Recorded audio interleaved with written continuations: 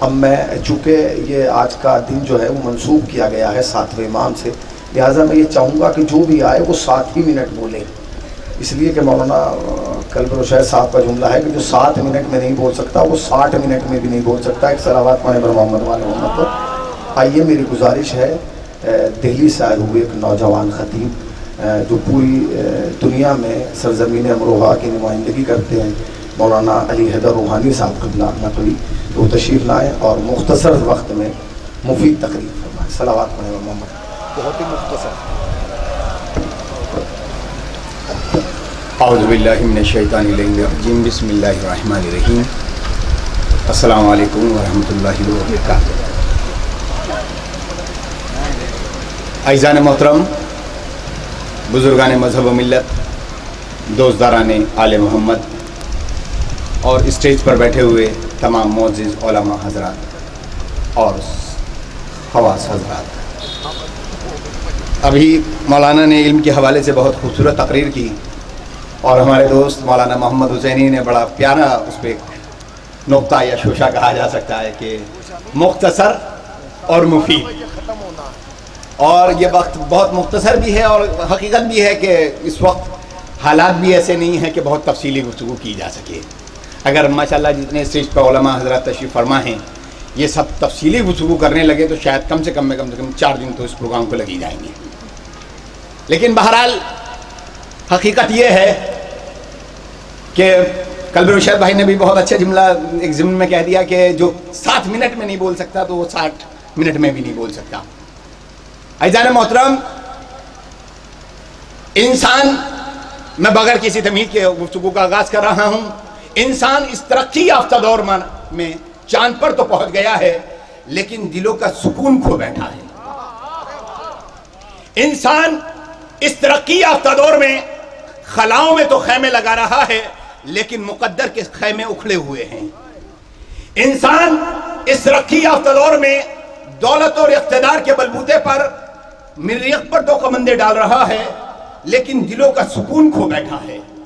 انسان مسلسل حیران ہے پریشان ہے سرگردان ہے کہ کسی طرح سے اسے سکون دل میں اثر آ جائے، سکون ساتھ میں اثر آ جائے۔ اس لیے کہ دنیا کا ہر انسان پریشان ہے کہ اس کے پاس سکون دل میں اثر نہیں ہے، سکون ساتھ میں اثر نہیں ہے، جبکہ اس نے چاند پہ تو کمندے ڈال ڈال دیے ہیں۔ سورج پہ تو طاقتیں لگا رہا ہے، لیکن وہ اپنی نسل سے پریشان ہے، اپنی قوم سے پریشان ہے، اپنی آنے والی نسل سے پریشان ہے۔ اس لیے کہ اس کے پاس کوئی بولتا کردار نہیں ہے۔ ایک ایسا کردار جو پیاس کے صحرا سے اشکوں کے سمندر نکالے۔ ایک ایسا کردار جو باطل کو اپنے آستانے پر جھکنے پر مجبور کر دے اور دنیا پر یہ اعلان کر دے کہ دیکھو طاقت اور جبروت کے بلبوتے پر لوگوں پہ حکومت کرنا اور بات ہے، کردار اور اخلاق کے بلبوتے پر دلوں کو مسخر کرنا اور بات ہے۔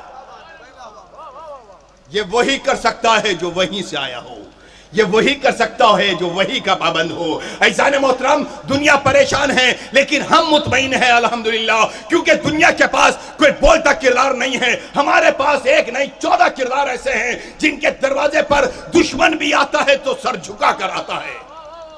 اور اسی لیے کہا کرتے ہیں کہ دشمن جبھی سر جھکائے گا، جب آپ کا کردار بلند ہوگا۔ اور کردار تبھی بلند ہوگا جب علم کا مادہ آپ کے پاس ہوگا۔ علم کی روشنی تمہارے پاس ہوگی۔ علم کا کردار تمہارے پاس ہوگا۔ اسی لیے میں عزیز محترم اکثر پیغام دیتا ہوں کہ میں اپنے نوجوانوں سے کہ دیکھو، علم حاصل کرو۔ علم ہی تمہیں ترقی دے گا۔ علم ہی تمہیں علم دے گا۔ علم ہی تمہیں دولت دے گا۔ علم ہی تمہیں جاؤ حشم دے گا۔ علم ہی کی وجہ سے پوری کائنات پہ چھا جاؤ گے۔ میں یہ نہیں کہتا صرف میری قوم حاصل کرے علم، بلکہ میری قوم کا ہر جوان، ہمارے ملک کا ہر جوان، ہمارے صوبے کا ہر جوان، جب ہمارے ہماری قوم کا، ہمارے ملک کا، ہمارے شہر کا، ہمارے مذہب کا، ہر ہمارے، ہر سماج کا جوان علم حاصل کرے گا، تو اسے کسی کے سامنے جانے کے سر جھکانے کی ضرورت نہیں پڑے گی۔ اس لیے کہ علم انسان کی خود پہچان بناتا ہے۔ علامہ طاہر القادری نے ایک بہترین جملہ کہا تھا۔ وہ کہتے ہیں کہ جب پوچھا گیا کہ مولا علی میں اور معاویہ میں کیا فرق ہے، میں اسی لیے کہا کرتا ہوں کہ علی کی جبی کو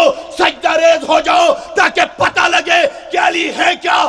مولا کائنات کے لیے وہ تاریخی جملہ کا طاہر القادری نے، یہ ہے علم کی دولت، یہ ہے علم کا معیار جو علم انسان کی آنکھیں کھول دیتا ہے، عقل کے دریچے کھول دیتا ہے۔ طاہر القادری سے پوچھا گیا، مولانا یہ بتائیں، علی اور معاویہ میں کیا فرق ہے؟ تو طاہر القادری نے فیصلہ کن جملہ کہا کہا یہ کہ دیکھو علی اور معاویہ میں فرق اتنا ہے، اگر علی سجدہ نہ کرتے تو خدا کہلاتے، معاویہ سجدہ نہ کرتا تو کافر کہلاتا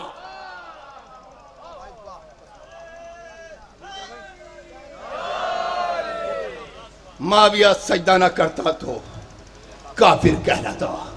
ایزان محترم، حقیقت یہ ہے کہ جب علم کی طرف آ جاتا ہے انسان، تو پھر اسے کسی کی ضرورت نہیں ہوتی، علم خود بخود پہچان بنا دیتا ہے۔ شاعر کہتا ہے، شعور و فکر و نظر۔ آگہی حسین کے نام، یہ چار مصرے اور آپ کی سماعتوں کے حوالے اور ختم دعا۔ میں مولانا علی عباس صاحب اور اس آرگنائزیشن کا تہدل سے شکر گزار ہوں کہ پہلی مرتبہ اس سرزمین پر آیا۔ چار مصرے سماعت فرما لے کہ شعور و فکر و نظر۔ آگہی حسین کے نام۔ سرکار، اسلام بھائی، شعور و فکر و نظر، آگہی حسین کے نام۔ تمام حرف خفی و جلی حسین کے نام۔ نہ بھیا کٹوٹا والو، فیض آباد والو، ایسے تو مصرے نہیں پڑھوں گا بھائی، میں پھر تقریر سنیں آپ۔ شعور و فکر و نظر، آگہی حسین کے نام۔ شعور و فکر و نظر آگہی حسین کے نام، تمام حرف خفی و جلی، حسین کے نام، تمام حرف خفی و جلی حسین کے نام، چراغ کوئی جلائے مگر یہ دھیان رہے، خدا نے لکھ دی ہے سب روشنی حسین کے نام۔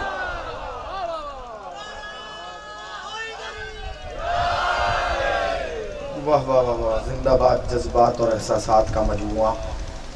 آپ کی خدمت میں پیش کر رہے تھے۔ میں انتظامیہ سے اور مولانا وفا صاحب سے گزارش کروں گا کہ ایک یہاں میز کا انتظام کرائیں۔ جیسا کہ سوامی صاحب نے کہا تھا کہ میز یا ڈائز کا یہاں انتظام کیا جائے۔ ان کی تقریر سے پہلے پانچ منٹ میں انتظام ہو رہا ہے۔